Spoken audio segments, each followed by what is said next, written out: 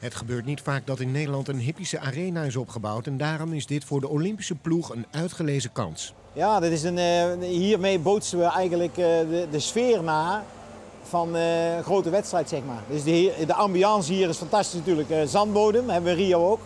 Hetzelfde zandbodem. En we hopen dat de, dat de venue in, in Rio net zo mooi is als deze.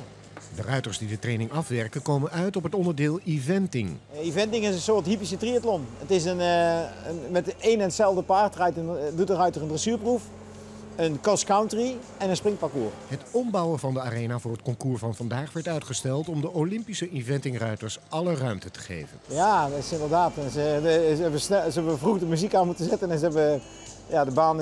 Kijk, nu moeten ze weer een gereedheid maken voor het springparcours, dus eh, ik ben ze daar eigenlijk al heel dankbaar voor.